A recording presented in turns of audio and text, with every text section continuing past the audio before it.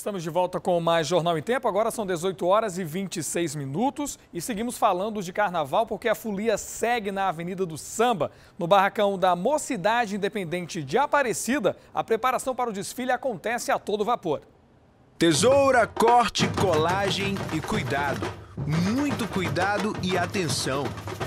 Esse é o cenário do barracão da escola que tem quatro carros alegóricos e cinco módulos alegóricos menores em finalização. Para chegar ao acabamento de cada um dos carros alegóricos é necessário tempo, dedicação e paixão. Paixão essa que só consegue ter quem já foi acolhido pela escola e também pela comunidade. Fabiano Faial é o carnavalesco da escola desde 2014 e esse carinho pela comunidade vai além do samba. No ano de 2013, eu estava trabalhando numa outra escola de samba e minha residência pegou fogo. E no outro ano eu fiquei sem trabalho e aí eu fui lá, bati na porta lá da Aparecida com o presidente Luiz Pacheco e disse, presidente, tem um emprego para mim? Aí ele disse, Sempre tem. E por aqui não tem tempo para descanso. Saulo Borges, que faz parte da direção da escola, acompanha de perto os preparativos. Mas ele também tem uma história de amor pela Aparecida. Eu acho que a escola exerce na gente é, uma magia que eu posso dizer assim que ajuda a nos curar de qualquer tipo de coisa ruim, tanto na parte física, né?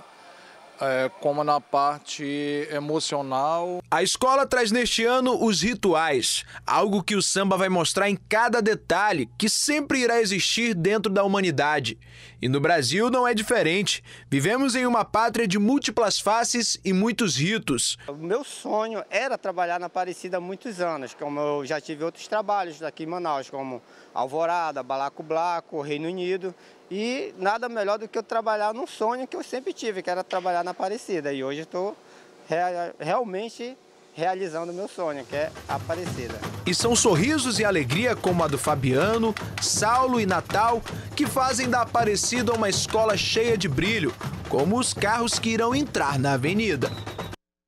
E ainda hoje vamos falar sobre outras duas escolas de samba. E olha só, um aplicativo promete inovar e agitar o público que comparecer ao Carnaboi 2020 na próxima segunda-feira lá no Sambódromo. Torcedores de Garantido e Caprichoso vão travar uma disputa tecnológica.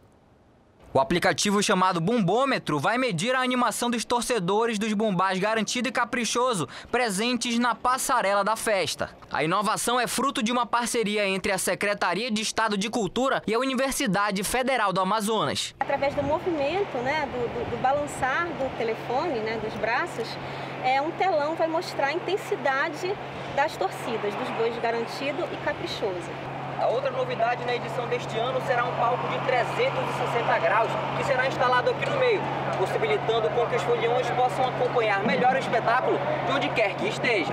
São 10 horas de evento ininterrupta e o evento começa inclusive com os bois de Manaus e eles abrem então o Carnaboi 2020. Esse ano são esperadas mais de 10 mil pessoas no Carnaboi. Agora é só baixar o aplicativo e levar muita alegria para o Sambódromo na próxima segunda-feira. E agora a gente dá uma pausa nas notícias carnavalescas para falar de polícia. Um homem conhecido como Foguinho foi executado com seis tiros na noite desta sexta-feira na Compensa. As informações com o repórter Vitor Massulo.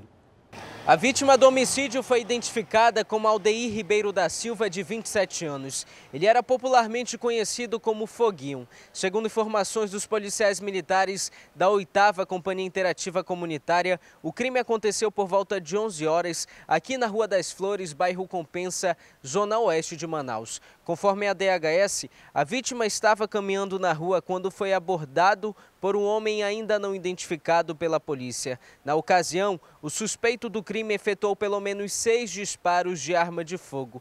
Esse crime pode estar relacionado ao tráfico de drogas. Pois é, Vitor, obrigado. E um adolescente foi apreendido com drogas no Tarumã. Luiz Rodrigues.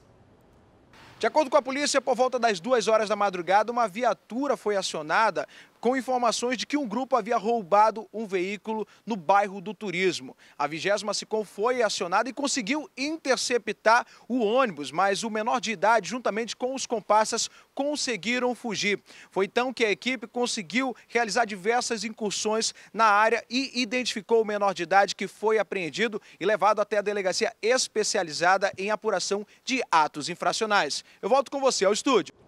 Ok, Luiz, muito obrigado pelas informações. E você de casa vai ver a seguir que as escolas de samba estão fazendo os últimos acertos para o desfile do carnaval aqui de Manaus. Vamos trazer também daqui a pouquinho os detalhes da agitação lá do carnaval do Educandos. Já já voltamos agora 18 horas e 32 minutos.